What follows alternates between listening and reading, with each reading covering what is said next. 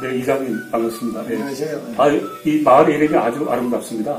한다리 마을이라는 이름이 무슨 의미가 있습니까? 예, 특별한 의미가 있죠. 이 서산 태안 해안 지역에서 내포로 들어가는 유일한 길목입니다. 네. 그래서 우리 마을 앞에 큰 다리가 있기 때문에 옛날부터 대교라고 하면은 한자로에서 나온 말이고 순순한 우리말로 한 다리, 큰 다리라는 뜻을 지금까지 사용하고 있습니다. 아, 그렇군요.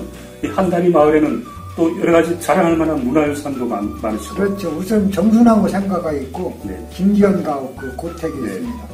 아주 중요 민속 자료로 다 지금 보존되고 있습니다. 네네. 그런 문화유산 뛰어난 인물들을 많이 배출하시는 고향인데, 특별히 이게 농촌 체험마로서 또 이렇게 이장님께서는 새로운 프로그램을 준비하신다고 들었습니다. 어떤 그렇습니다. 프로그램을?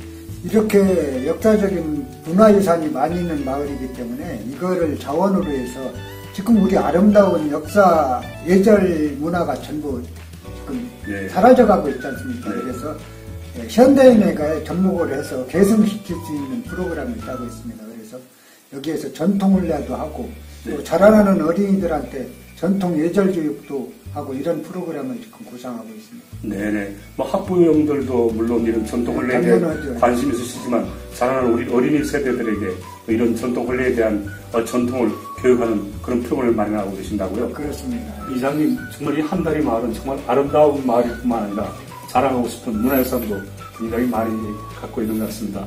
그 외에도 이 마을에 또 자랑하고 싶은 게 많을 것 같은데요. 이장님 또 어떤 게 있습니까? 그렇습니다. 지금 우리 마을이 아름답다고 그랬죠. 어, 풍수학적으로 배산 임수가 아주 완벽한 마을입니다. 뒤편에는 병풍같이 쫙 펼쳐진 뒷산이 있고요. 앞에는 대교천 물이 흐르고 있습니다. 그래서 뒤편에는 산책로가 다 개설이 됐거든요.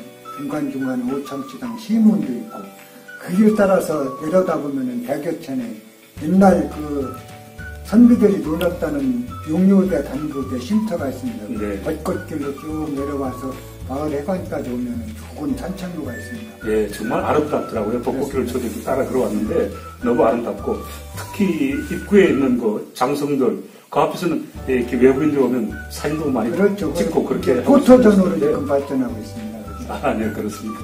또 특히 또 이렇게 이게 또 먹거리도 굉장히 좋은 거라 하거든요. 특, 특산물도 있는 예, 곳이라고. 우리 마을에 그 표고버섯이 한 40년 역사를 가지고 있거든요. 네. 지금 시중에 나오는 표고버섯 보면 거의 돼지버섯이다 해가지고 톱밥으로 기르는 버섯인데 우리는 나무, 소나무 숲 속에서 참나무 원목으로 지금까지 재배를 하고 있습니다. 네, 이렇게 오다 보니까 이 해관 옆에도 이렇게 그렇게 표고버섯 재배 단지를 이렇게 예, 조성해. 준 모습을 예. 볼수 있었습니다. 아, 그래서 특별히 표고버섯에서 이렇게 예, 일부러 이렇게 조성을 해놓은 곳이군요. 그렇습니다. 네. 그 특별히 또 이렇게 외부에서 이렇게 이 마을 찾는 분들이 있을 텐데 그분들에게 특별히 하고 싶은 말씀 있으십니까? 우리 마을에 오시면은 역사적으로 많은 것을 배울 수도 있고 체험도 할 수 있습니다. 많이 찾아오셔서 어, 경험하고 가십시오. 네, 고맙습니다, 이장님. 감사합니다. 네.